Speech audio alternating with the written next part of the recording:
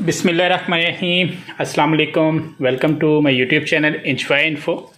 अभी आप जो कंप्यूटर देख रहे हैं, इस केसिंग से अंदर से मैंने ये मदरबोर्ड बाहर निकाल के ये कंप्यूटर पे ऊपर कंप्लीट विंडोज़ सॉफ्टवेयर हर चीज़ करके कंप्लीट रेडी कर लिया है। यहाँ पे देखें। लेकिन हमने क्या करना है कि इसका असल जो है फ्रंट पैनल उसकी केबलिंग कैसे लगाते हैं? वो हमने देखना है कि फ्रंट केबल की हमने फ्रंट पैनल की सॉरी केबलिंग कैसे लगाते हैं। मैंने फ्रंट पैनल भी ओपन कर लिया ताकि आपके लिए मुश्किल ना हो। अभी सिस्टम को करते हैं बंद।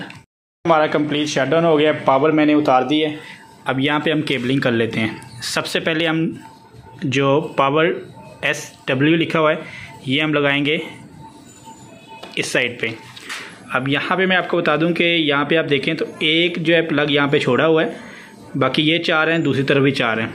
जो ये छोड़ा हुआ है, यहाँ इस साइड पे आपने लगाना है री स्टार की केबल, ये वाली।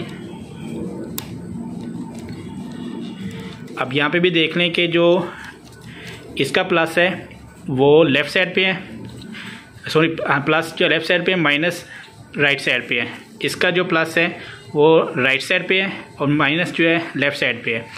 अब पावर के साथ हम लगाएँगे हार्ड एलईडी, ये वाली केबल।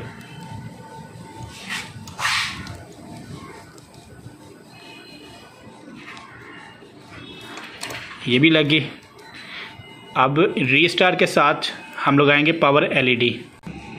अब ये यहाँ पे लगा देते हैं। ये मैंने यहाँ पे लगा दिए हैं।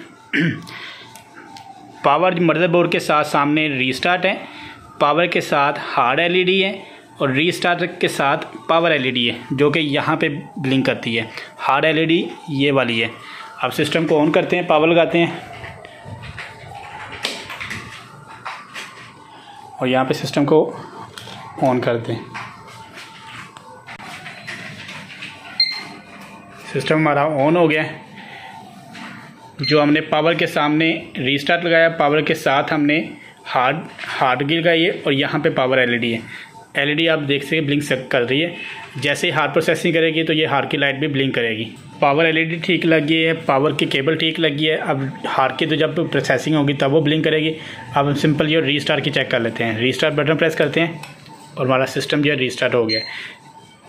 इससे कन्फर्म हो गया कि हमने जो केबल लगाई हैं, वो बिल्कुल ओके लगी हुई हैं। तो वीडियो मेरी आपको पसंद है तो वीडियो को लाइक कर दीजिएगा, चैनल को सब्सक्राइब कर दें और बेल आइकन को प्रेस कर दें ताकि मेरे आने वाली हर वीडियो का नोटिफिकेशन आपको बर वक्त मिलता रहे। अपनी दुआओं में याद रखिएगा।